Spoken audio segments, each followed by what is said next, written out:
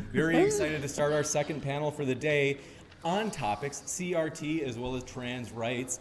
Thanks to you all for being here. Thanks to our speakers, and we're going to start with trans rights. I will start the first question in particular whether or not trans women should be in women's prisons was one of the questions that was submitted. And so thanks so much to the panelists. The floor is all yours. We're asking whether or not trans women should be in the same prison systems as cis women? Exactly. The reason why we have them separated out is usually safety reasons, um, why men and women don't occupy the same spaces in prison. So, as weird as it sounds, we could probably use Olympic standards or something to determine whether or not a trans woman should be in a in a cisgender women prison or with cis men, I guess maybe. Um, so like if you've been on hormones for one year or two years or something, then maybe you should be able to, or if you're in the process of transitioning, maybe you should be able to.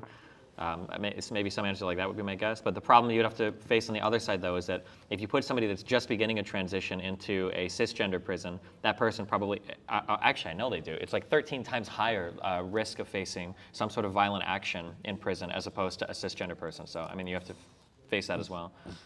I would probably be okay with those types of standards. I think that the biggest fear that we are dealing with when we talk about these issues is whether biological women are going to be put into harm's way. I think we should at least address that. I think that going under hormone therapy, transitionary surgery, and making sure that you have an accurate notation from a therapist, I believe, goes a long way in alleviating a lot of those fears for both biological and trans women.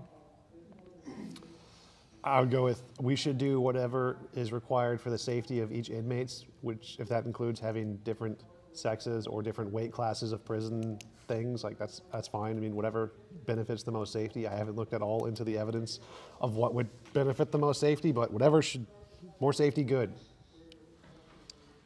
Um, I think that prisons should be boring and not dangerous in the sense that you have you're at risk that anybody is at risk from assault or or whatever. So um, maybe we should bring back some of like the asylum type prisons, and maybe that would be the solution. I don't know.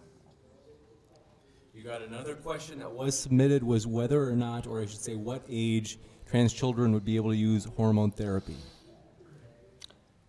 That is another hard question.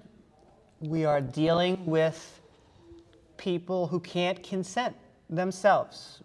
And so you need to follow the guidance of both your child on one hand and then the doctors and the people who have know what they're doing on the other. We are dealing with a feelings based issue, which tends to be very subjective. And so when your child is coming to you and complaining and crying, I assume it breaks your heart. And so, without jumping into anything, without pushing anything on the children, which I know is also another fear, I believe that you could take them to a viable therapist that will eliminate if there are any other problems along the way. And then I also think there is a sliding scale of how much you should actually do. So we shouldn't be putting children on hormones because children don't produce hormones. And so you want to actively look at how a puberty would go and try to mirror those effects. Um, I think for when it comes to children's medical decisions, I think it should be left to the doctors and the parents, and ideally the children as well.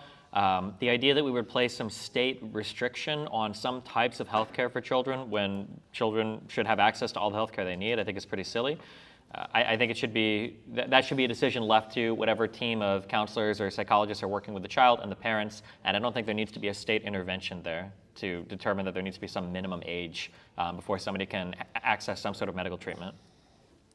Uh, from my understanding on the topic, of the people who do transition, a very small percent regret the transition, but of the people who feel dysphoric and in some way desire a transition, a very large percent have a remission rate of that desire when measured as kids. So it seems like, based on the science, there is probably some age at which we should wait uh, until they reach this age before we actually allow them to have a permanent surgery transition because there is such a high percent of people who initially want that who in, inevitably change their mind. Um, but at the same time, because the surgery is so expensive right now, it seems like of the people who do transition, very, a very small percent of them regret it. Um, so it's, it's a hard, hard thing to assess, but I'd leave it up to the scientists and I'd say, yeah, we probably should establish an age. I'd probably go with age of consent, 16 or something around there, just as a easy baseline until we have harder science on the topic. Um, I, first of all, I take issue with the notion that it's hormone therapy because therapy is has connotations of helping people. I think it's more like hormone take the whole thing. shenanigans. And gonna be hard I think that definitely the, the father frequently is left out or forced out of these decisions. And the father is being called frequently like harmful to the kid. When I think the, the other way, the opposite is happening. The harm to the kid is pushed by the mother or whoever, the doctors, this, the, uh, the people at schools with an agenda.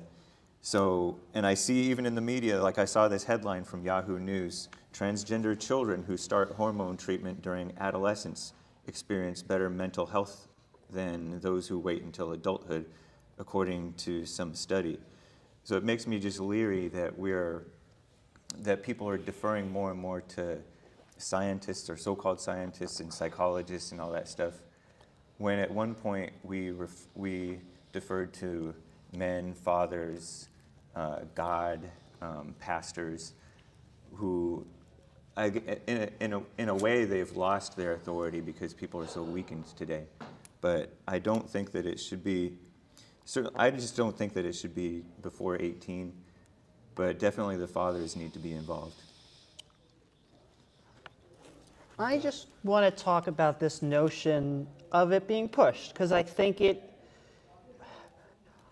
it is a fear that I think can be alleviated with conversation because I think there is a narrative out there that it is the it is the liberal mom trying to push the, the gender theory onto their child. I have found the complete opposite. I, I understand that experience is uh, anything else but hearsay, but in my own experience, I have found that it's coming out to both the parents. Sometimes, um, especially as a male to female, I think it's hard to come out to the father figure because you are leaving the male gender. And yet, I, I think we can include the dad. We can uh, make sure that they are following the right procedures and making sure the child comes out as a healthy, functioning adult. You're saying that you've seen fathers pushing it on the kids or no, going I, along with the kids more I have than the mothers? seen almost universally that it is the child being or whoever is transitioning very hesitant. They're not Oh, excited hesitant to talk to the father. Yeah, not like, "Hey, mom and dad, I'm transgender." It generally, you know, it is a situation that you need to talk out. That a lot of times I feel that a parent may be feeling like they're losing a child, and so you need to have those conversations. But I feel like I came the other way around to the point that I now have a better uh, relationship with my parents than before. Question for Hake. Um, Yeah. If it was proven beyond just the bias of the scientists, but in reality that they did lead healthier lives if they did transition, would you be for that? I I still don't think I would, honestly, um, because I think that there are other ways. Because what we're addressing is like mental health of the person, right? So, so-called. Even I take issue with the term mental health, really, but I don't think that I would be for that because it seems like a false solution to a symptom rather than the root issue. If that makes sense. Like the root issue, you deal with it. A lot of people get twisted in all kinds of different ways. We all have our issues, and um, many times we just don't overcome them. But um, to prop this up as something right that we should go along with, when honestly it just feels like insanity, you know? We Question about that. Um, Yeah. When you say the real issue, isn't the root issue quality of life? And so if they have a lower quality of life, whatever helps them to have a benefit of quality life is solving the root issue, regardless of whether or not that ties into some kind of biology or not. Like, even if it's completely not connected to biology in any way, like say they wanted to install a horn on their head or something, if that improves their quality of life, isn't that solving the root issue? I don't say so because that's like a like the horn on the head. It's a it's like a silly solution. Like we need to. The, the solution is to be like at peace with reality. You know, where we have. Uh, we all have our issues and we need to overcome them, or just keep them within and just be quiet, stay in the closet, if you will, with our issues and have have a um, have some shame and dignity, sh- show respect for others by hiding your issues. That seems really immoral to me because it seems like you're saying that people should be enslaved to reality in the way that reality has forced whatever on them, like if they're paraplegic or whatever, instead of using technology to overcome reality to better fit people's mental state. So to me, it seems like the moral thing to do would be to, to change biology reality in whatever way we can in order to make it more comfortable for people, like we do with all technology. Why would we defer to biology or reality, and how is that not just an appeal to nature fallacy? Well, the paraplegic thing is it's like a totally different issue, clearly, like because that's that's not a state of mind or a state of uh, the soul or whatever. Well, isn't that it's affecting the state of mind? So the reason they it would does affect them. Yeah. Well, I'm the reason they would not want to be paraplegic is because they'd be happier if they wouldn't. So, isn't it uh, giving them the ability to not be paraplegic? How is that any different from somebody giving them the ability to feel more comfortable with themselves by adding a horn or any other surgery? But m- more important too, like you, you- you, what I know that you know is like your state of mind is very powerful in changing your uh, sense of sense of well-being, even in a rough situation. Like we can look at somebody who's paraplegic, and they can be happy and fulfilled, and then we're feeling sorry for them, but they're not mentally going through what we're what we're going through in looking at them. For So- some, but others not so much. but that's that's what I mean is like that's those are some of the ways like healing the, the mind and the soul is much more important than addressing the physical things that can give you that can give you some make your life nicer. But Shouldn't that be up to the them? Like, because some people may want to find solace in their internal strife, like monks did. They gain from the suffering, but some other people may like, no, I'd rather walk. Shouldn't they have the freedom to choose that? Isn't that the moral thing to do to give them that option? Yeah, I'm not going to impose on somebody who's an adult wanting to do this, but I do question the doctors who are doing this with with the transgenders. I mean, we're supposed to do no harm, but yet they're they've they're justifying through these different studies that oh, this is not doing harm, but I think that it is. Well, that's my question is if it improves their well being, that seems to be the opposite of doing harm. But I don't believe that that's well-being really, because that's a um, that's propping up, making them feel better for being wrong, if that makes sense.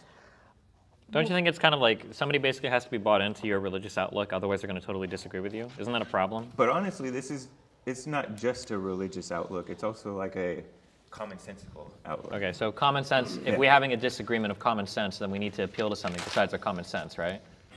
I suppose so. So if I'm not a religious person and I don't think that there's some fundamental good of the Father or Christ or God or whatever, Yeah. if you see somebody that is in distress, right? Like I don't think TJump is immoral because he wears glasses, right? To uh, make an adaptation to his body to better fit, you know, like the world we have. Right. So could you not argue similarly for trans people that feel like their brain is miswired in some way? It seems like it's really hard to move the brain over to the body. Like we haven't been able to do that in therapy yet, and I believe a lot of people would like that. I think most trans people would like it if they could just make their brain match their body and I not have to worry about that, right? Yeah. So if it is the case that the only way to improve their outcomes which is what therapy is. Therapy is something where you have a treatment that improves the outcomes relative to the risk of the treatment. So if we do have something that we can use, like either surgeries or hormones, wouldn't it be good to have people have the option to pursue those?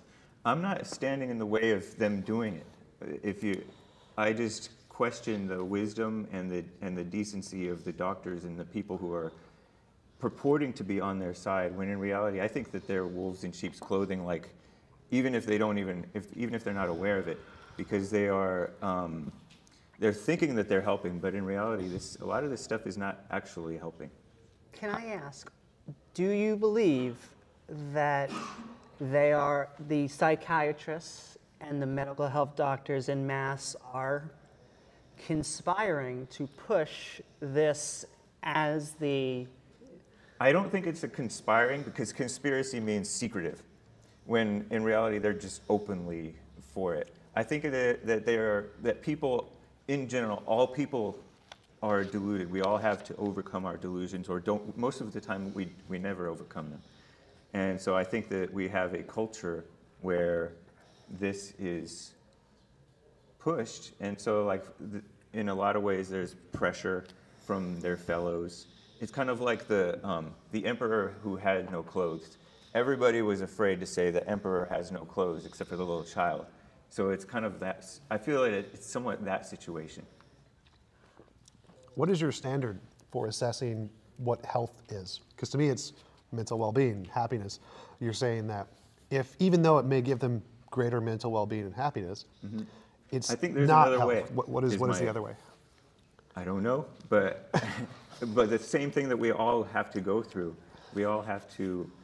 Um, we we all have issues that we just can't overcome, and we have to deal with them, mitigate them, hide them, stuff like that. But do you think that all forms of mental health are like fake diseases? So like ADHD is fake and schizophrenia is fake and all that. Do you think that Not none of these are real? That all of these can be overcome without any sort of like therapeutic assistance? Not necessarily.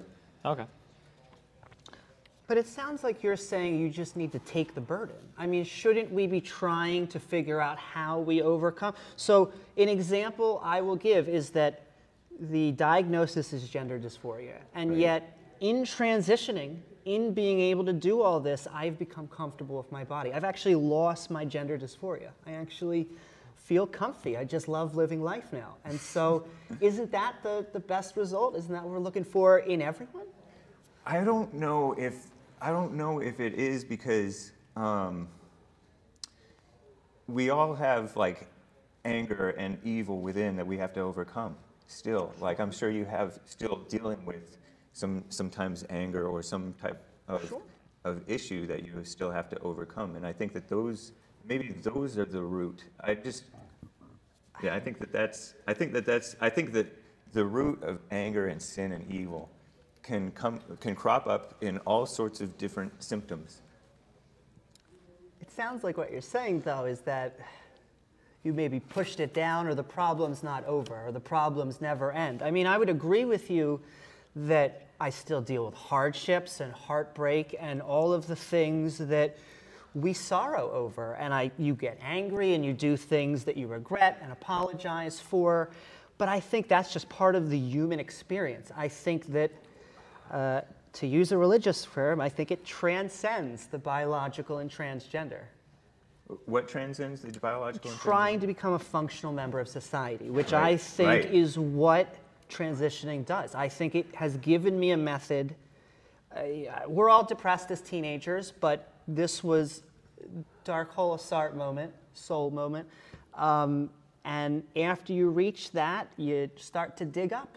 And it has been only up since there. Not saying that it's not like a, you know, up and down, but I would say the trend, I've never been more happy to be part of Western society than right now. I guess I couldn't have been alive because uh, I wasn't alive, but I am very thankful that I was given the chance to make my inside match my outside. And now I can just do whatever I want.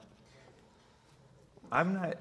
I mean, I'm not taking the the right to to try to like. I think we're all groping around in the darkness, trying to find solutions to our inner issues.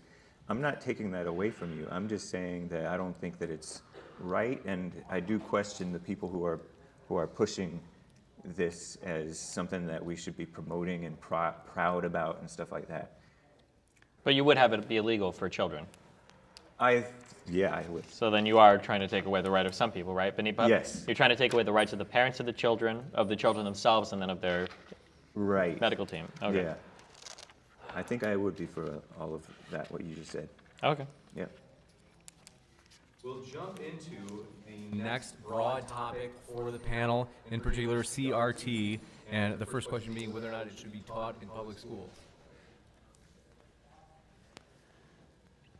I think that the CRT thing is like a, I think it's just a big red herring for whatever people want to argue about. Um, critical race theory proper is not really taught outside of college. Um, we can argue whether like ideas that are downstream from CRT have kind of permeated some forms of curriculum, and I think that it's valid to have those conversations. But rather than having good conversations about what extent do we teach, um, you know, the liability that we should have for things we've done in the past, it becomes this weird dick waving contest where I guess some people on the left want to say like white people are evil and they should be kissing the boots of black people, and then people on the right are saying, well, actually, you know, the slaves were lucky to be here. We didn't know wrong. Like, you know, Indians were savages. Fuck all that. Um, I, I, don't know. I, the whole CRT debate is like a brain rot debate where everybody can just kind of like smuggle in whatever issue they want to talk about, and it seems like that's what that whole conversation has become.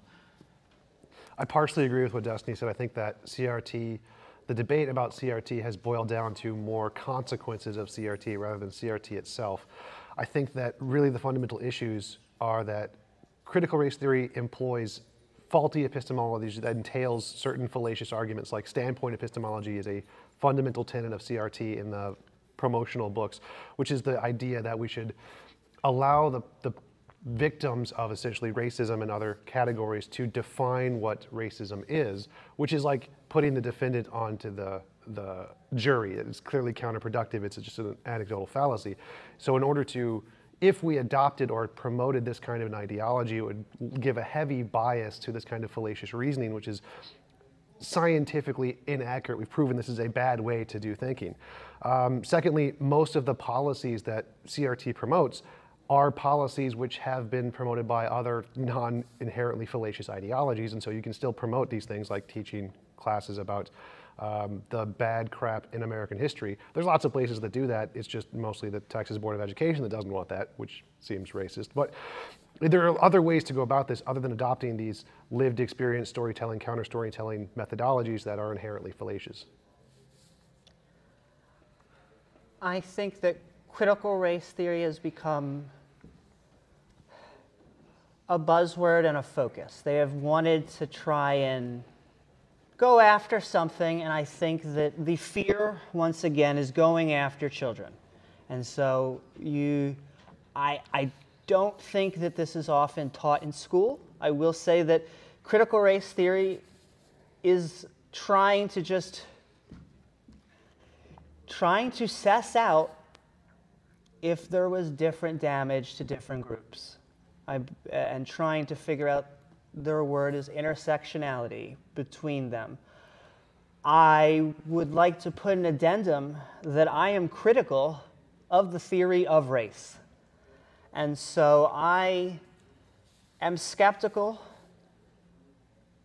of teaching anyone in the K through 12 system about I don't want to separate people. I think we should teach them the general history, the, the real history, because we have, uh, the United States has done both uh, horrific and amazing things, and it can't be one or the other.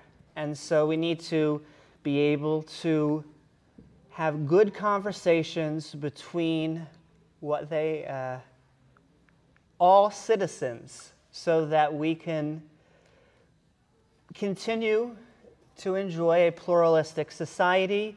And if there are people who are disenfranchised, it doesn't matter who they are, we should go and try to help them. Um, I think that this whole notion of social justice, there is no such thing as social justice in practice. Like this like when they add this stuff, it means not real justice. They tend to reverse things and overcompensate for perceived past wrongs. Um, when I was growing up, we were we learned that there were decent and harsh, good and bad slave owners, and we learned both things. And we weren't taught that America was all perfect and everything. But now, I don't think that, I do agree that the critical race theory is something that's latched on to by people who don't really have the parents and the children's best interests at heart. A lot of RINOs will jump on board with this, and they'll just, I, I barely heard of this thing like this last year, But I do believe that the notion of racism has been pushed in schools and in culture for decades, really. and it's like whites are the only ones primarily who've been accused of this racism thing, when in reality everybody's everybody acts in this way that they call racist, and it's most of the time it's not a big deal. It's not anything that they're they should be punishing. Um, I think that we should be maybe teaching this notion, this false notion, and, and also teach the truth. We should teach about communism and anti-communism in America so that the children are not seduced by it by people who are who are li- liars. We have like young women who are fresh out of college teaching anti-racism and Black Lives Matter nonsense to young kids, and that's that's a mistake. If there's not any disagreement, we've actually burned through the prepared questions or the submitted questions, so this might be a good chance for an exploratory discussion. I don't want to throw questions or topics, especially at you guys, that you hadn't been told would be on here. So it might be a chance to ask each other questions in terms of things you might have comments about regarding other talks that they've given in the past, things that you might object to, whatever it might be. Uh, I have one specifically on this topic. Uh, Destiny, what's your view on critical race theory? Uh, I forget what the term you used, the real thing, not the straw man. So I think that it's important when we look through when we, when we look through theories, um, especially when it comes to theories like critical theory, critical race theory, um, or like critical legal theory. I think it's important to understand that these things are just like tools that we can use through which to view society. And when treated in that manner, I, I'm generally okay with most of the. Uh, from what I'm aware, most of the things that are being pushed by, I say being pushed by, some of the piranhas of critical race theory. So something that you brought up um, was some people have a problem uh, epistemically with this idea of a storyteller um, being like the focus point of some critical race theory. I can understand why people might be upset about that, and I think that when it comes to drawing broad trends sociologically, it's good to look at like numbers and data. But I think it's important to understand that when we talk about sociology, ultimately at the end of the day, we're, we're analyzing the individual and how they act in large groups. So I think it's good that we have a lens through which, if we're going to say broadly speaking, this is the story of um, an average American, an average working class person, an average middle class person, an average black person, we should be able to have a tool through which we can annotate, um, I'm sorry, analyze qualitatively individual stories of these people as well. And there should be some uh, like congruence at the end of the day between these two things. So to come back, I would never say like, oh, CRT is the one way that we should view society through, but rather maybe it's another lens that we can employ to gain some greater understanding of why some data is the way that it is, basically. From a weighting standpoint, do you think that the weight of the storytelling should be greater than or equal to the actual data? Because from my perspective, my understanding of CRT, the standpoint epistemology overly weights the storytelling and then uses that to overrule the statistical data in many cases. Do you think that that's an appropriate way to do As long as CRT is one science, maybe, maybe not, but as long as that's just one tool that you're using to analyze something, I think it's okay to overweight the stories there in relationship to the data. Um, I- again, I, like I'm a data guy. I'm a pretty cold guy when it comes to analyzing situations, but most people don't work that way. And I think it's possible sometimes that you can miss um, you can miss what's going on sometimes if you only look at the data. Like numbers might tell a certain story, but maybe when you start getting down to the unit of the individual, maybe we start getting a different story. If you're having an issue where when you're looking um, qualitatively at individual stories and none of them seem to be lining up, or a lot of them seem to be contradicting the data, maybe that can be a good reference point by which to go back and choose different data to analyze potentially.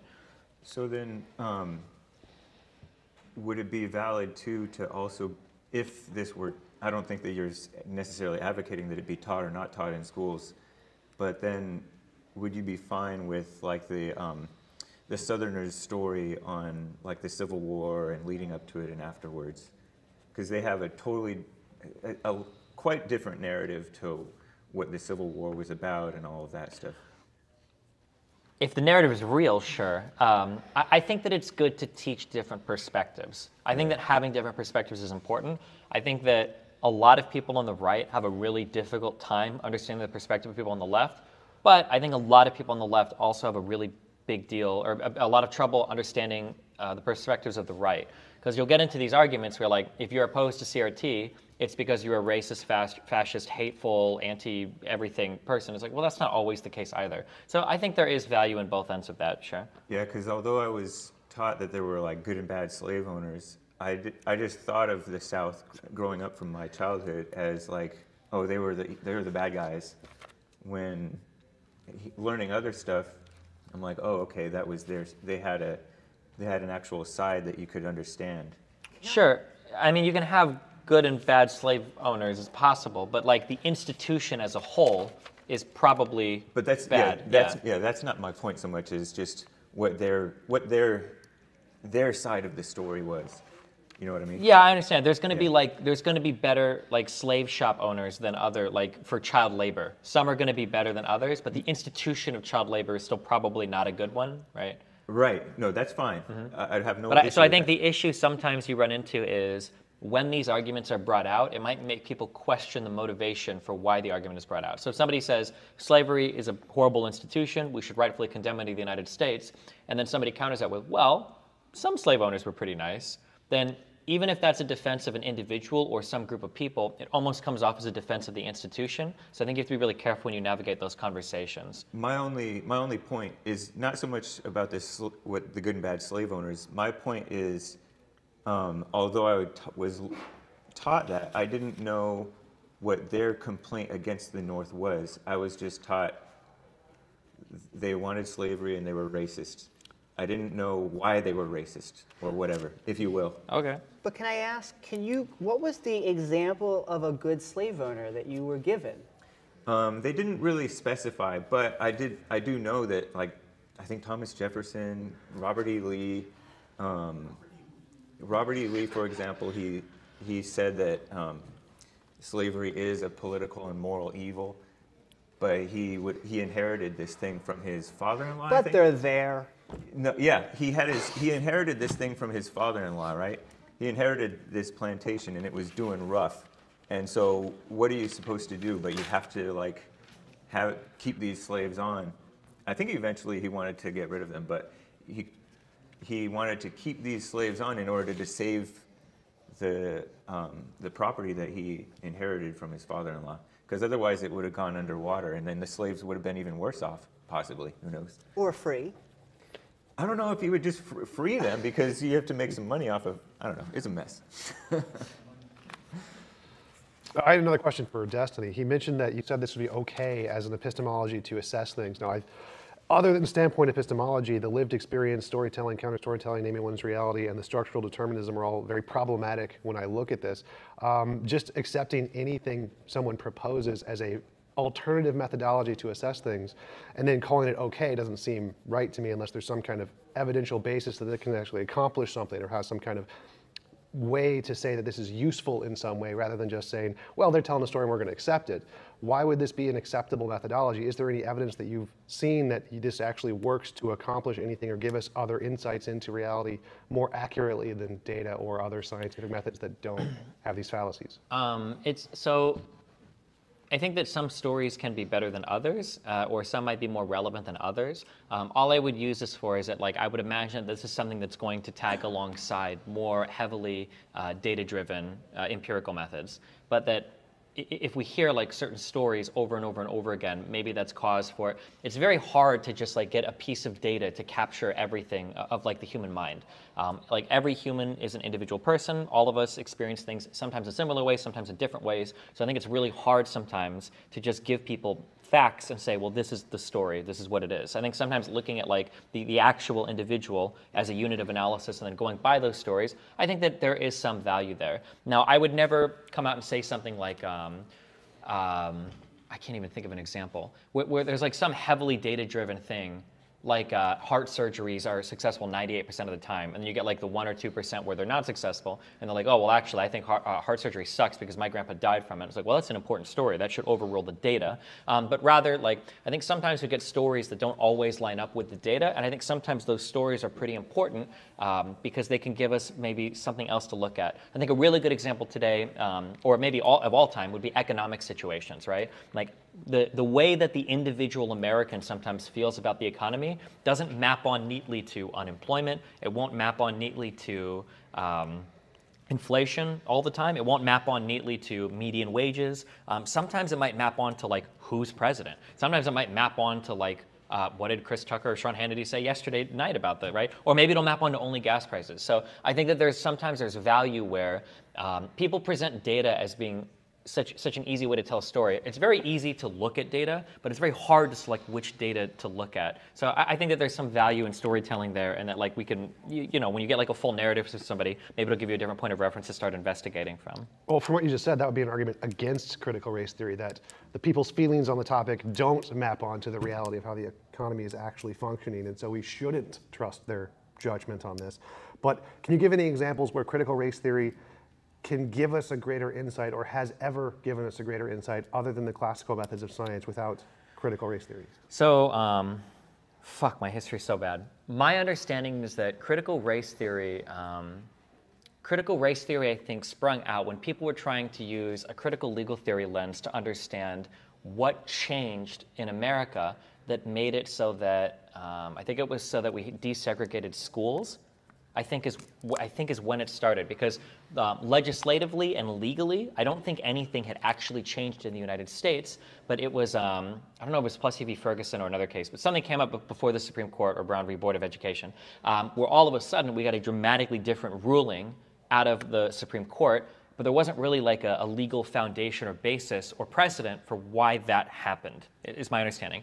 And when you try to analyze it through like the critical theory critical legal theory people kind of didn't understand it as much. And i think this was one of the big uh, motivations for starting critical race theory. We're like okay well let's try to take a different lens to look at it. Let's look at the culture of the us at the time. Let's look at race relations at the time. And then through that lens there was a better understanding of like okay well with all these different pressures we can see why the supreme court maybe not from a strictly legal point of view but from like a cultural racial point of view might have made a different decision so that would be an example, I think, of where the prior critical theory failed to give a good analysis of something, but through like a critical race theory, they felt like they had a better understanding of something. Is my understanding of where it's where it started from? Oh yeah, that's totally right. But we got to the same conclusion rather than rather than using critical theory or critical race theory, we can just use basic philosophy and understanding of ethics and moral progress, and analyzing these same things in social progress from a standpoint of a much more rigorous epistemology. It seems like we get to the same answer or a better answer in the same topic. So why would we ever trust this kind of epistemology specifically? I think we're, we had another debate recently where we're going to go back to the same uh, foundation of our argument. I would probably agree with you on most of these things, like one on one. But the problem is when you get into other people, they're going to have disagreements on like what moral progress is or what these things are. So um, again, I think that when you graph data and look at it, it's very easy to find like, well, this is a trend or this is a trend. But the argument is going to be over, well, what points are we graphing? How do we measure these particular things? And I think that's where people are pointing towards narratives more to see if there's other things that can be measured. Essentially, is, is what I would imagine people would say.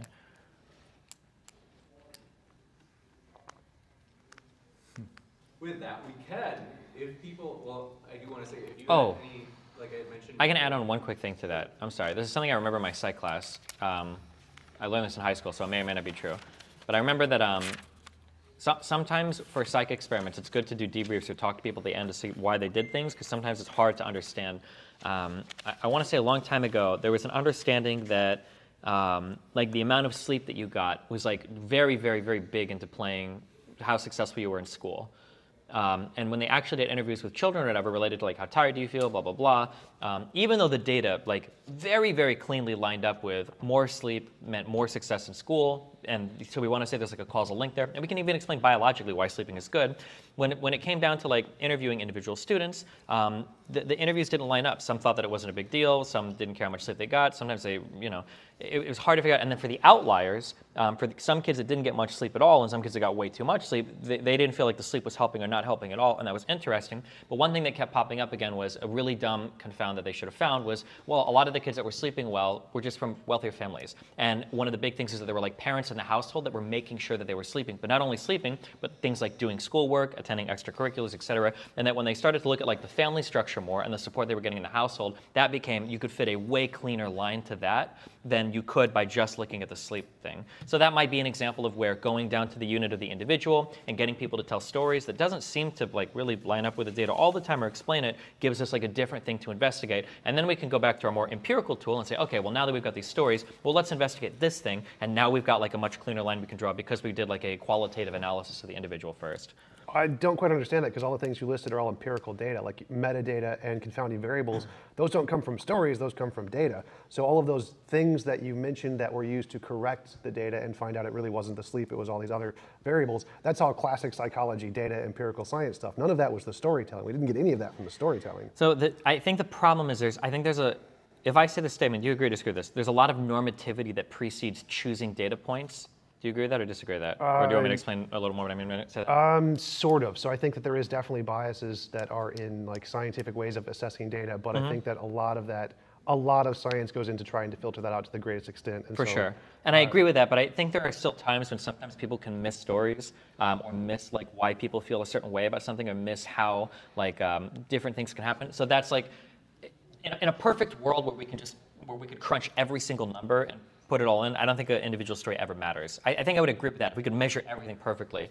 But it seems like sometimes starting from a different point of investigation or different using a different tool to investigate, that we can take that back and say, okay, well actually let's look at this data point instead because we've talked to these people. Um, and I think even in, even more rigorous sciences, like there, there is value to this. Like you might have one person and their entire life, they'll spend 20 years with like one tribe, or, or somebody will spend 15 years researching just one political leader, um, and then their life and how their life intersects with their political views. And I think sometimes there's a value in that, in that individual story there, um, and then we can use that to either interpret data a different way or look for different types of data. Even if maybe if we would have been smarter beforehand, we could have avoided that whole story altogether potentially. Yeah, I definitely agree with that, that we could use stories as a basis to construct a new hypothesis, but I don't think we could ever use the stories as hard evidence for the hypothesis.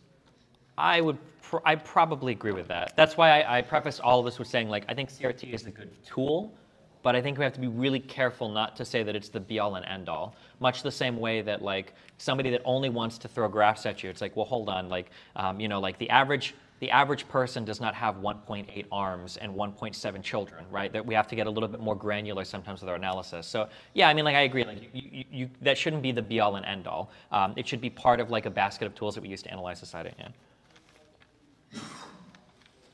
Any last questions on that? Otherwise, we can go into those kind of exploratory questions. Amy, did you have one?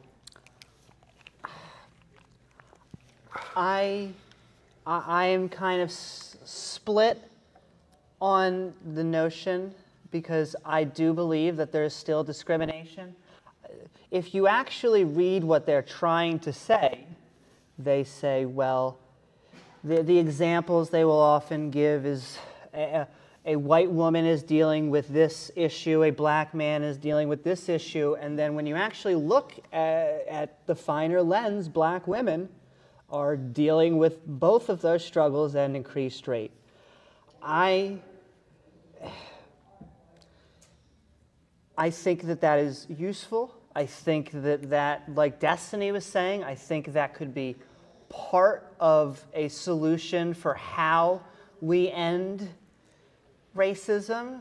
But I think that overall, I will reiterate, I am critical of the theory of race.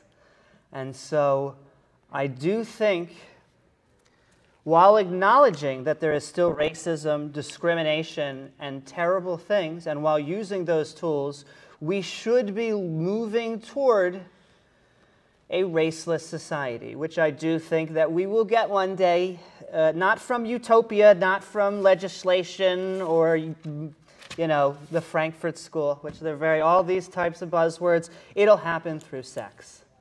You got it.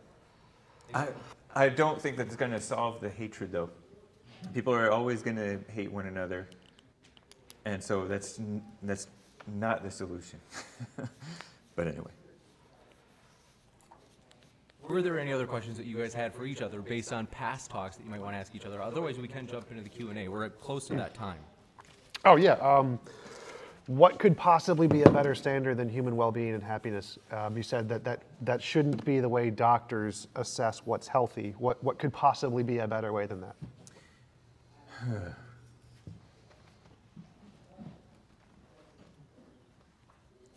I guess I don't know. Well, if you don't know, then why would you say it's wrong for doctors to prescribe I'll things say- based off of that? I'll say I don't know that I'm that that's right. I because I can't What's right? It- it- the the the the medical things that support someone turning in, turning, transitioning and stuff like that. Well, do, do you think that scientists, forgetting the trans issue, do you think that scientists in general in psychology do make decisions based off of some metric to measure happiness of people? Like there's money, they measure how much money it takes for people to make be happy, and more money up to about fifty thousand dollars a year makes people more happy, and then going above that, it's a diminished amount. Like, do you think that's legitimate science?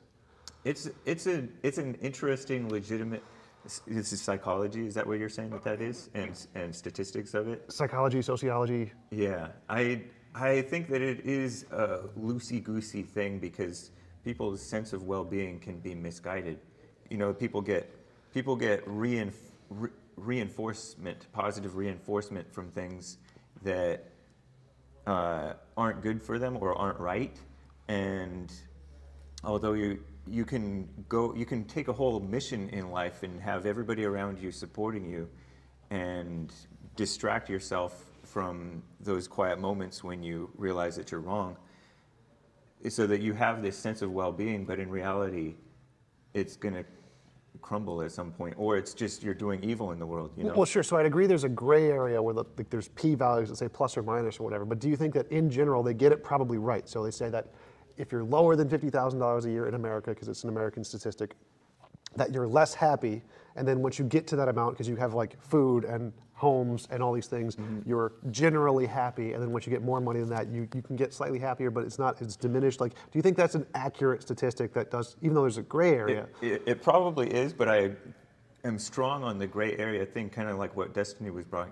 I mean, that Steven was bringing up, was that um, there's other factors like they are Always. working for yourself is like a gratifying. Well, There's always other and all that factors, but you agree that this isn't just, it can't be like completely wrong. It's Right. accurate to some extent. Yes. And if they use the same metrics to measure happiness of trans people, for Mm-hmm. example, aren't the scientists, to the same extent, whatever extent this is correct, the scientists and the doctors would be equally as justified in using these statistics on trans people since it's the exact same data they use on all the other measurements of happiness to whatever degree that is trustworthy.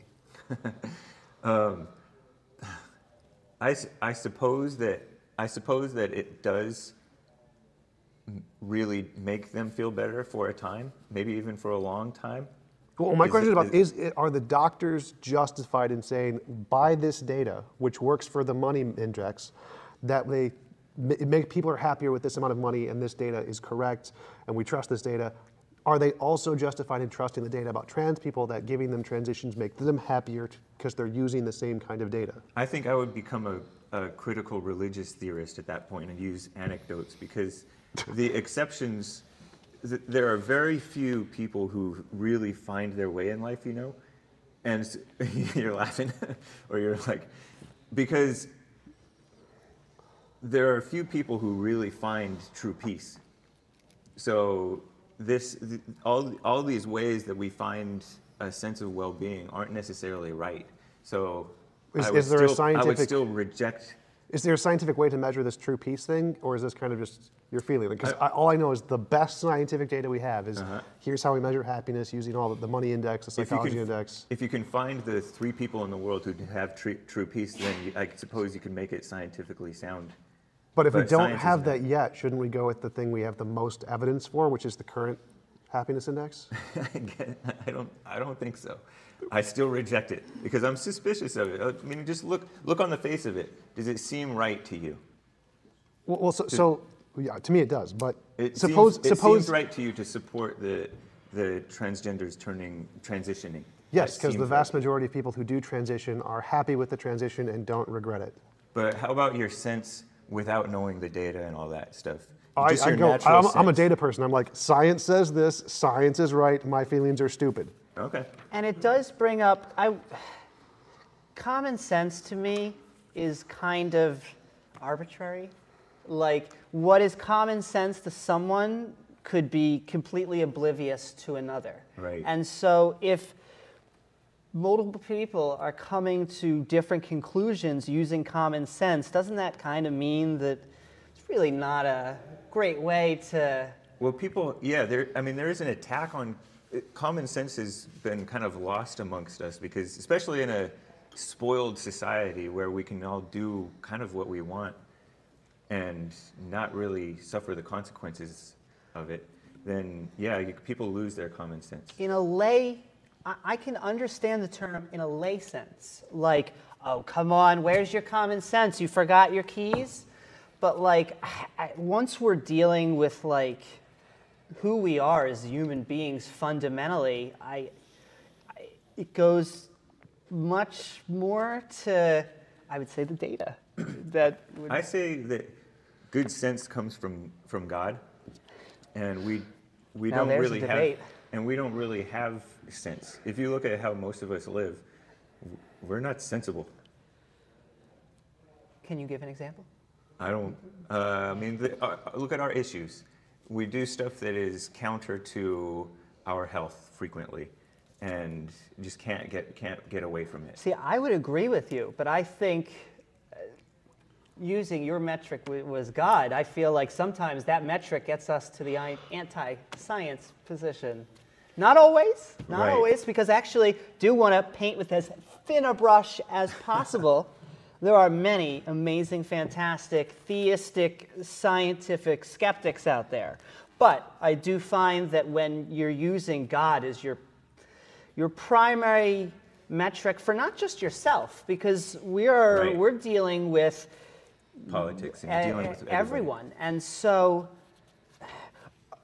to put this in a question form, what would it take to convince you that transitioning actually is the proper with the therapists that have found the, the answer? What would it take to convince you that transitioning is the correct solution? I don't think I could be convinced because it just I just it inherently kind of know there's something off with it. You know what I mean? And uh, so too the this reliance on science and data stuff. We don't know what all to look for, like what Destiny, uh, Steven was just talking about. They were looking at they were looking at sleep. In reality, there was a whole lot of other things going on, and people have an agenda when they come up with statistics and things like that.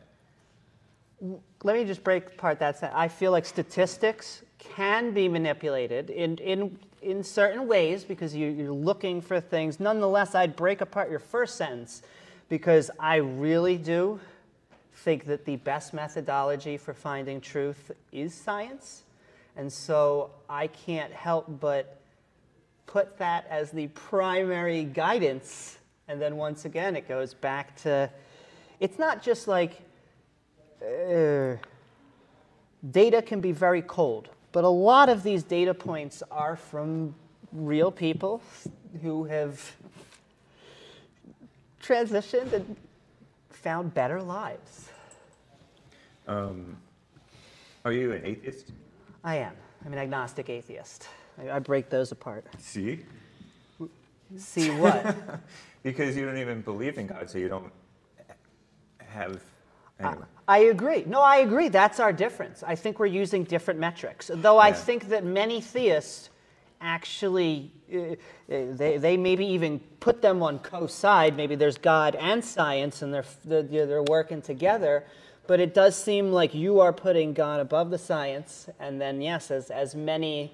But, uh, but it's not just a God thing because just like I said, at the common sense level, like it's when you, whether today or before you transitioned or whatever, did you have any sense that something was off about what you were about to do or what you were, were There wanting? was fear, but many of the fears were unfounded. I thought that my par- I, I knew that my parents were going to throw me out, and yet they didn't. Uh, I They knew that I was going to lose all my friends, but I didn't. I knew that my uh, life was going to end, and it didn't. See, that proves that your mind lies to you. Uh, I see. You're saying it's lying. I think it's a vulnerable teenager in depression. I think that that's not lying to you. I think that you run through the most hor- horrible situation. In fact, I'll relate this to you uh, as a, a parent or to anyone. When you uh, haven't received a call from your child in a, a, few hours or a day they were supposed to, your mind just runs through the worst scenarios possible, almost never true. Yep. Nonetheless, you can't help for your brain to run through the terrible scenarios. But that's why you know to withhold rather than make a, deci- make a decision or, a, or come to a conclusion. But see, if I withheld, I would be staying, if I was even alive, I, I, in my opinion, I'd be miserable. I would be trying to live my life for other people. And it's great to live your life in defense and to fight for other people, but to just live day to day so that you're just moving through the motions, that's not life. But you, but you are surmising that since you didn't do that, you don't know what you would be going through. Well, that's true. I cannot predict the future. I can only tell you from that event, and I can also tell you that it was one of the best decisions in my life. All right. Uh, question. I wish you well. I got two Yeah, more I wish questions. you well too. Thank you. Uh, hey, you said you brought it up as a joke that you would go to critical religion theory. Uh, well, I'm half joking. There's definitely truth to it. Well, that's that's my question. Is that Yeah. it seems what is the difference between what you're doing and using your intuition in order to make a judgment than what critical race theory is doing and them using their intuition and storytelling? Because it seems like the same problems with critical race theory exist in your critical religion theory. Well, definitely, um, people who are religious and Christian, many, if probably most, are wrong and mistaken in our judgments that we make because we, we're not God, and so we don't really know right from wrong. I think nobody really knows right from wrong. Well, my question was, how is your methodology different Yeah. from the critical race theory methodology? Um, it's uh, it's different in that I am seeking for truth and withholding, whereas those people are. Well, Did you think they're seeking falsehood? They're like, we want to we want to find what's false. Well, I mean that woman who. Well, okay, I was going to say the 1619 project, but that's not critical race theory. Um, but those people are just dumb liberals. You know what I mean? That's that's that's the Space. difference. That is the fundamental fundamental difference. All right. Uh, second question, Destiny. From our, you mentioned that CRT is a valid way to assess a new hypothesis. To bring up our previous debate, isn't how is that different from me using moral realism as a different way to come up with a different hypothesis? Um, I think that there is a. Uh, I guess it would depend. I, I- don't know hardcore on the epistemic philosophy of a, a CRT person. Um, if a CRT person is saying that an individual story is conveying some fundamental truth about reality, um, I would hope they wouldn't say that, but I would fight on that point. Um, as opposed to if a CRT person says that a story is conveying a fundamental truth relative to that person or that person's story, then I think that's I think that's okay. So an individual can have a story, and that story can be true for that individual, but that might not necessarily map onto some things in the world in the way that they might think it does. Um, so, for example, maybe Just to clarify, isn't, oh, yeah, that, isn't that exactly what they're doing? They're saying that this story told by this person is a more correspondence to reality than the data or uh, the scientific research, and we can reject the scientific research because this story overrides that. Isn't that exactly if, if doing? that if, if a proponent of CRT says that we ought to reject e- empirical data in favor of stories, that's not good. I, I wouldn't agree with that. But I- do think that stories are essential sometimes because the data won't capture all of it. I don't remember if I gave this or uh, something else an example, but like um, I I didn't specifically take this, but like the inflation and how the economy is doing is a really good example because sometimes you can look at every data point and still not understand how a person feels about the economy because their experience of the economy might actually fall completely outside of the data.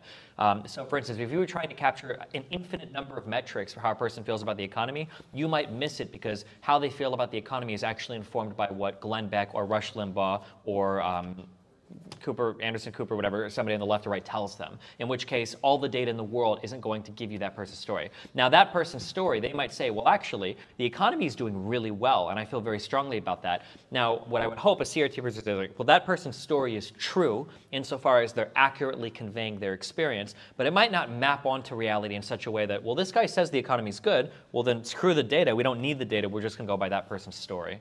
Um, I would imagine there's probably some debate within the CRT community or people in terms of like where do stories fit in in terms of with like quantitative data, but I can't I can't pretend to tell you what every big CRT scholar or thinker believes in terms of that.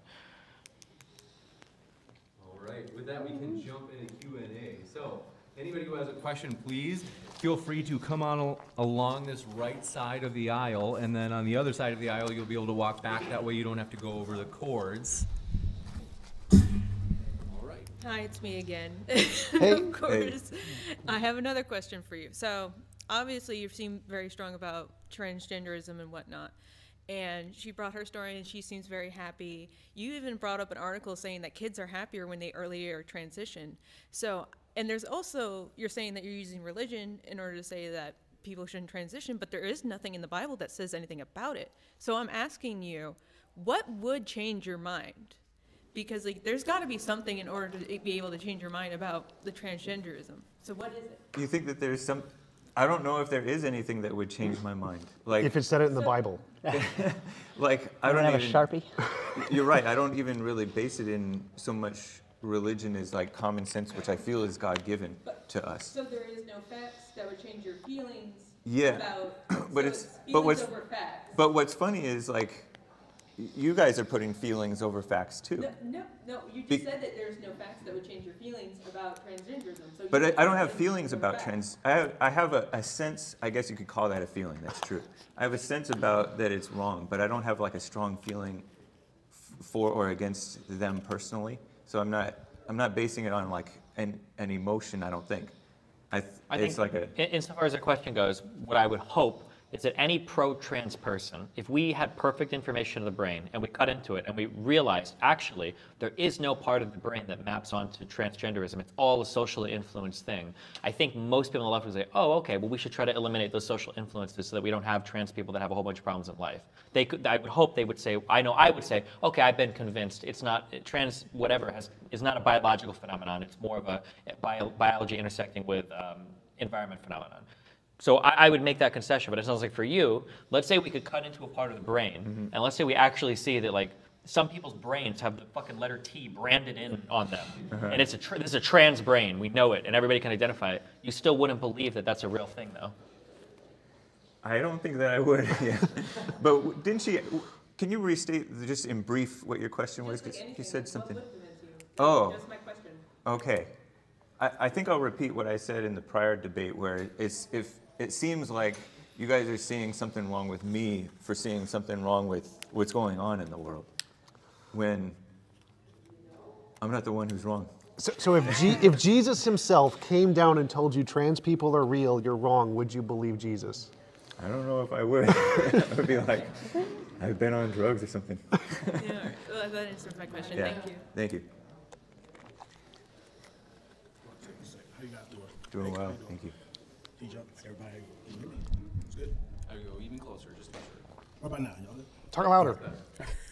Uh, well, okay, uh, I'm going to talk about CRT. Um, Rob, CRT is not being taught K through five, K five through twelve. It's not being taught at all. Uh, it is a college elective um, that's in graduate school. Um, it, which uh, actually uh, Dr. Ritchie, uh, he's in, in dispute. He teaches as an elective course for the past what five years. Um, CRT in itself, uh, like you said, you haven't heard it for the past year, but it was highlighted in like 2017 when Trump highlighted it. And once he highlighted it, the media in of itself, they grabbed onto it and called it a very decisive thing. And um, and, uh, and it's the same as, as woke. Uh, you know, the word woke essentially has been deemed as a, as a, as a highly divisive thing in, in our community. When woke been around since the '60s. I mean, stay woke, brother. You, you heard of that before, right? And because of this fear of CRT, uh, here in Texas, they created uh, SB 3, uh, Senate Bill 3. And, and what that does is um, it basically takes away the um, you can't teach the history of Native Americans um, in school. You can't. Uh, the Fugitive Slave Act of 1793 and uh, 1850, uh, writings of Frederick Douglass, Martin Luther King, the 1619 Project, which is you know examines the history of um, uh, the slavery uh, on American soil, which actually black slaves were here way before 1619. Um, uh, the Women's uh, Suffrage uh, Act, and most importantly, what uh, SB 3 in Texas uh, they basically uh, takes takes away the history of white supremacy, um, including but not including uh, slavery and the eugenics movement. Um, basically, they're saying if you the, the, the subject of Ku Klux Klan come up in the state of Texas, yes, I, I got- I got you, I got you. Um, it's, it's not considered morally wrong.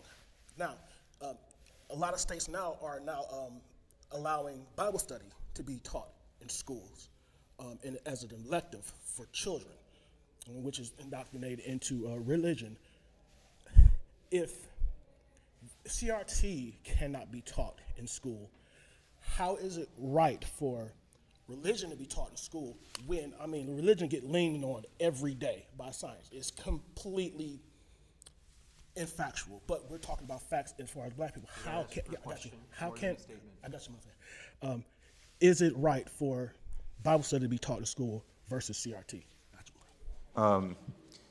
I do know that the, like, for example, the people's history of the United States, I forget what the name of that guy who came up with that thing was, but I've heard more and more this notion of racism being taught in school. So, regardless of whether it was CRT specifically, I don't like this push that this racism thing is real and we need to be addressing it. Um, the stay woke thing, I, I started seeing that with um, DeRay McKesson. Like, he had that little weak fist and said, stay woke. Um, politicians, I don't. You're right. I don't trust the Republicans necessarily. To maybe they overcompensate or whatever, but I don't think that a normal person would be against the right and wrong of what whites have done over history be taught. But sometimes they call stuff wrong that wasn't necessarily wrong. You know, like there's a lot of lies and propaganda. So, and the and the tr- and the Bible, I don't think the Bible's been debunked by science or anything. But um, anyway, yeah.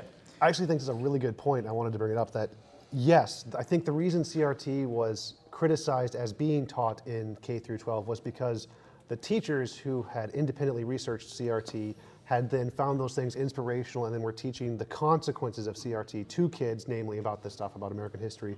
And then the news picked up on this and said they were teaching kids in preschool CRT, which wasn't exactly the case. They weren't actually teaching college level CRT to the preschoolers. Um, but I think you're exactly right that it is exactly like teaching evolution in school and that they're taking their own biases and then imprinting them on children, which they shouldn't be doing unless there is some kind of approval by the state to do this. But you're right, it's just as bad to try to indoctrinate kids towards a left ideology as it is to try to indoctrinate them with evolution denial or young earth creationism in the right ideology. One thing about the 1619 project I heard was that they they claim that the real founding was 1619 rather than 1776. So I don't. That seems a little off to me. Just because we have a lot of Yeah. Thank you. Hey, nice to see you up there, Amy. Um, quick question for all four of y'all. Just a quick. Uh, I need to just get a clarification. Something you said in the last debate, and I just want to, uh, if y'all can answer it as well. I just really need to know what you mean when you say, uh, well, is racism real? Is transphobia and racism real? And the same question goes for y'all as well. I say no. Um, there is wrong done to, uh, like, there's wrong done to whites, there's wrong done to blacks, and they say, oh, it's, it's racism. But it's not at heart racism, it's because of some other issue that's going on. And then you said about transphobia? Is trans? I don't think so either. I think that there are people are just evil to one another, and then sometimes people are, just have a difference of opinion, and then they're called transphobic. So, just because race is not a real concept, at least biologically, does not mean that racism does not still exist. I would say that it depends on all different uh, countries, uh, all different areas where you're going to be. I think in the United States, we still deal with some of the remnants. I'm not going to put a bias on either direction. I, if you doesn't matter if you consider yourself black, if you consider yourself white. We should be coming together to figure out how to make a better, more functional society. And if we could drop off a lot of the remnants of tribalism, of a lot of our um, hair splitting over uh, what color eyes someone has, what skin they have, just very arbitrary things that I think if uh, the clock would, would uh, go back, we may pick different lines. It may not be black versus white, it might be blue eye versus brown eye, or blue eye versus green eye. And so we should be moving towards a more raceless society. Uh, Yes, race is definitely real. We know this empirically because of in-group, out-group biases that have been proven to happen biologically. It's like saying that there's no such thing as a sports rivalry. Sports rivalries aren't real. Yes, they are. We're in Texas. Of course they are. Um, so yes, we know for a fact that race is real. We know for a fact that there is an in-group, out-group bias, that humans innately find differences between groups and then classify some as better and some as worse. And we can classify those differences under specific banners of where they happen most, like race, like religion. So yes, definitely race and transphobia is real. Yeah, I mean, I would say racism and transphobia is real. Uh, maybe some people exaggerate it, maybe some people underplay, but I mean, I'd say they're both real. Yeah. Okay, so my question is more so with uh, trans people in sports, and I mean, I think it's probably going to be more so towards Destiny and maybe J, J Jump or TJump. Sorry, I'm sorry. Yeah, but okay, so basically, um, so as we can see, um, trans women are starting to like outperform a lot of uh, like actual women in, in the Olympics, like well, in like some sports, and we can see that trans men are being uh, they're underperforming in uh, sports that men usually usually are in, right? So should there be should trans people be able to tr- like participate in the same sports as uh, actual men and women, or should there just be uh, like should they just be like a whole division just for themselves, right? Like should they just be on their own league, right? So kind of like instead of like a n- NWBA, there should be an NTBA or something like that, right? Um, what do you think about that? Um, I think if there was a sufficient number of them where they could actually have their own league, that would be a great idea. But I think that you're right that there is a spectrum of trans people, and those who have not gone through hormone therapy do have a physical advantage. And the hormone therapy can, it affects people differently, and so some people, even after they've gone through it, they still have a physical advantage. So there is a difference uh, between trans people and uh, the other sex that they're transitioning into. But I think that it should be up to the sports organizations to determine when someone does qualify as having gone through the transition and is physically equal. Because the people you mentioned who are trans but are winning all those sports aren't all the trans people who are competing. There are trans people who go into the sports and do about average or do lower than average. And so there's a spectrum, just like there is with any group. And we should let essentially the organizations and the people who are experts in the field determine when someone who has gone through enough trans hormonal therapy and if they've been affected enough to legitimately qualify as being as a part of that sport. Um, I think that the trans people in sports, I think, uh, kind of blows apart a lot of how we analyze fairness in sports. I think um, it's really, really, really hard to say that somebody that can train in one body and then compete in another is ever going to be fair for the people that they're transitioning to compete with. Um, so, for instance, it's sad because we always talk about trans women, but nobody ever addresses trans men. Um, it seems like trans women can be very competitive against other cis women, and we've seen this happen time and time again. But I don't really know of any examples of trans men showing up and being very competitive with cis men. Uh, the fact of the matter is, is that like if you were allowed to say, well, use performance-enhancing drugs or steroids and train for some number of years and then stop, you're still going to inherit many of the advantages of being able to train in that environment before going into a competitive environment.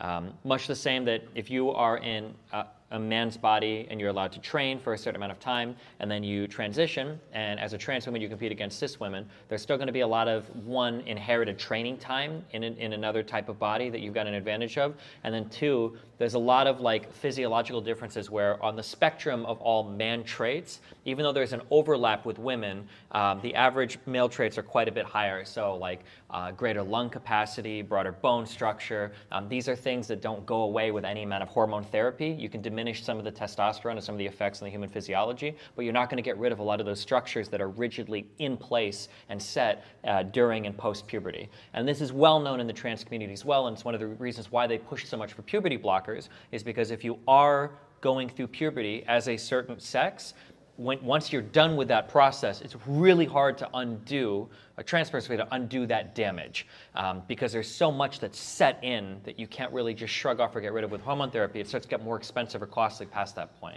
Yeah, I understand that. My question was that should they be in their own league? Should they? I, I- I think What should I we think do, you kind of have to, but once you put them in their own league, it's going to be such a niche event that it almost feels like you're saying they can't compete at all. So I, it's a, I, but it, but the problem is, is that like we have to look at different worlds. If we lived in a world where the top 10 um, female competitors were trans women, no one's no one wins there, right? Everybody is going to be pissed off. There's going to be probably more hatred towards trans people. Cis women are going to feel like, well, what the fuck? There's no point in me doing a sport anymore. Like that that would be like the worst possible world I think to be in.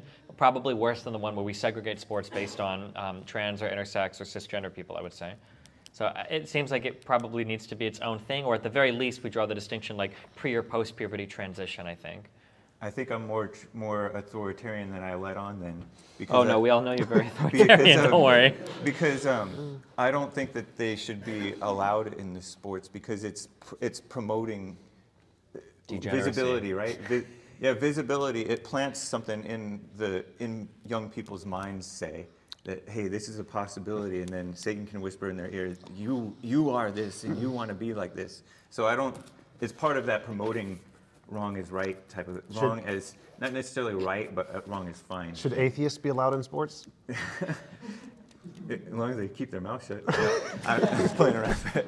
And I, yeah. oh, no. I just want to say that I think sports of all of the trans rights issues is probably the most complicated because we are dealing with different type of activities that stress the body. We are pushing it to limitations, and a lot of times when we are dealing with things like the Olympics, we are dealing with the extreme. So it is actually the one chance that we should pay attention to it. I'm actually open to multiple ideas. The joke I've always gone by is that if you make a trans league, I think we will absolutely be like the number one on cable. Like everyone will watch that, whether you like sports or not. So I'm actually open to that idea. Uh, but you know, the the metric here is fairness. We want to be fair. I do not want to, pun intended, transition biological women out of sports. And so we need to figure out a way in which we could have them compete and transgender women aren't dominating. I agree with Destiny when he said if it was the top 10, I think it is over exaggerated how much they are dominating in sports. Nonetheless, I do think that there are advantages that you gain during, depending on when you start transitioning. That is why, like they were saying, you you want to transition as early as possible when you know it, when you actually know it, and at puberty. That it. Let's let's not try and push that, but it can't just be that anyone just says, "Well, I transition. I, I'm just this uh, other gender today, so you put me on that team." We do need to make sure that these are actual transgender people. We need to look at the actual sport because there are some sports in which there are major advantages, and there are some sports in which there are no sexual dimorphic one way or the other. And so it is, in my opinion, the most complicated of all of the trans issues. I, I think like the, the bathroom stuff and that is nonsense. But when it actually comes to sports, it's not clear cut. We're going to have to dig down. We're going to have to work to be fair. Uh, thank you, everybody. Uh, this is a question for Steven. Um, Steven, you said that CRT is a red herring for people on the right to group together, uh, similar to Bill C-16 in Canada, which was blown out of proportion all the way up to the popularity of Jordan Peterson. Uh, in terms of overhyping certain topics to rally groups of people together, how big of a problem is it? And do you think that engaging in that discourse to a certain extent kind of further stokes that fake flame? I think it's a big problem, but I think that people on the left watch those conversations hardcore too. Um, I think you need to be very clear about disavowing stupid shit and then very clear on engaging with people that have other types of ideas um, or, or, misconceptions about what you maybe believe in. So, for instance, like, I think that there is value in different ways of looking through society, but there was undeniably some garbage textbooks that were written that seemed to have maybe a few too many CRT ideas in mind. Um, I don't know if you've watched my stuff or not, but like I remember we read through one of these math books on stream that basically said that like black kids are like too stupid to learn math with numbers, so they need to run around in groups in order to. It was like a really out there way of like explain. And I'm not even exaggerating. You can find this math book. It's like unbelievable how they say like, well, black brains are wired to learn differently than white brains, or there are some. Um, oh man, what there, there was a. I don't know if this is a meme or this is posted um, in the NAACP museum or something or whatever, but it's this idea that like maintaining a schedule or whatever is a white person's concept and like black people can't do that. Um, I think you have to be quick on the left. You're like, okay, hold on. There's actual some garbage here that it's fair to say this is like dumb. This is stupid. Um, but it feels like people on the left sometimes get so caught up in, in, in hearing something that somebody on the right says and then feeling like they have to defend the opposite of every single thing that you'll get people saying, you know, shit like January 6th is literally Hiroshima, but you know, Seattle and Minnesota and all these other, or, or um, Minneapolis or all these other cities, like, you know, it wasn't that bad. You know, it's like, well, hold on. You, you have to be able to say that, like, rioting is bad and January 6th is bad. Or you have to be able to say that, like, yeah, you know, some of these ideas are dumb, but we're going to defend these ideas. Like, people have a really hard time picking and choosing what to defend. They just, it all ends up being like this big political uh, uh, team sport, basically. So given the state of the left, like, do you think that um, they should probably just, if you see something where it's like a big thing that's getting blown out of proportion, should your advice to the people on the left should just like let the flame die out, or should they try to? I think that you own one thing and then you quickly move the topic on. So like if a Republican wanted to debate me on like mainstream TV and he's like, we shouldn't teach our kids CRT. Like my response is, yeah, I agree. We probably shouldn't teach kids CRT. What like in specific do you think we shouldn't teach them? And then you move on to that part of the conversation because we don't teach them CRT. And if you're saying that there's some like downstream topic that we teach them. Okay, well, let's talk about that. Should we not teach kids about slavery? Should we not teach kids about this? Like, what do you want to talk about instead, rather than getting hung up on defending the esoteric ideas of whatever weird shit you're being accused of? So you also think that? Before we go to other questions, I just wanted to give everybody. Oh yes, of course. Yeah. Thank you. Thank you, Justin. Yeah. Uh, hello, y'all. Thank you for coming. Uh, my question is primarily directed towards TJump, but I guess if anyone wants to jump in as well, feel free. Um, so you mentioned how you have an issue with CRT because it primarily relies on counter storytelling, which is fallacious. However, uh, despite the fact that like over the centuries, historians have like accumulated a ton of different data points when it comes to like I don't know population, uh, like the general state of the economy at the time, et cetera, et cetera. The history that we learn in K through 12 as well as in upper education is primarily done through storytelling. For example, uh, usually in history you will learn that like the War of Roses or the Hundred Year War, sorry, uh, between England and France is the primary thing that led towards their animosity for the next couple centuries, or how the American Revolution finishing uh, was the main is one of the main drivers that led to the French Revolution happening. Uh, since history seems to engage in so much storytelling, uh, do you think that it is equally fallacious and shouldn't be taught in uh, K through 12 courses or upper education, or do you find some sort of distinction between the storytelling in one or the other? Yeah, so it wasn't the storytelling, it was the standpoint epistemology. Standpoint epistemology is fundamentally an anecdotal fallacy. And then standpoint epistemology is when you use the stories to counter or to oppose the data. If you're just using the stories as a basis to form a hypothesis, perfectly fine. But it can't be used as evidence to confirm the hypothesis. You need independent data for that. So my, the, my criticism of, of CRT isn't that storytelling itself is bad. It's when you use the storytelling to contradict the data or to use it as a confirmation of a hypothesis without data. The data itself always supersedes the storytelling, and the fallacious part is when you revert that and use the storytelling to contradict the data.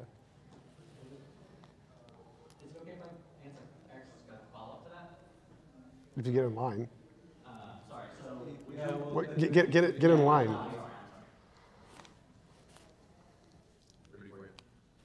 If you can, just as close as you can to the mic. Hello. Um, my, I have two questions that are very short. Um, I didn't catch your name.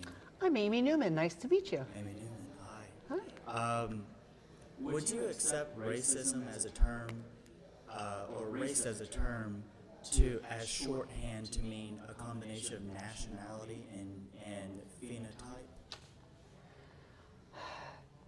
I'll be honest with you. Race to me is a complicated term because I am the one, no, I'm not the one person, but I view it as a catch all. So some people mean different things for it. So some people are just talking about their ethnicity. They're saying, I came from a certain place and this was my race. Some people uh, try to attach it more to just what you're looking like in front of you. If you are have light skin, then you are white. If you have dark skin, then you are black. And yet, it gets much muddier than that. And I'll give you the example. It's the main driver for why is that I come from uh, a Jewish background. I'm no longer. And I have found that people will look at me dead in the face and they will look at my skin color and they'll be like, You ain't white. I'm not considering you white at all.